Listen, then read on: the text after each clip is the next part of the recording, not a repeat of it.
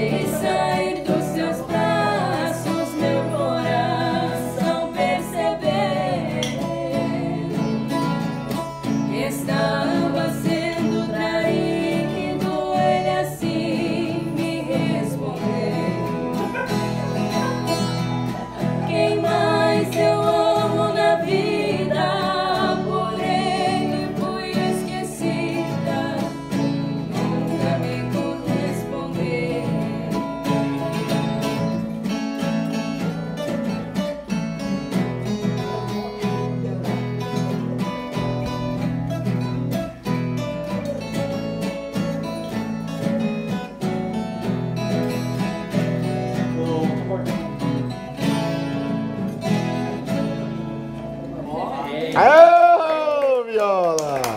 Dá pra aplaudir o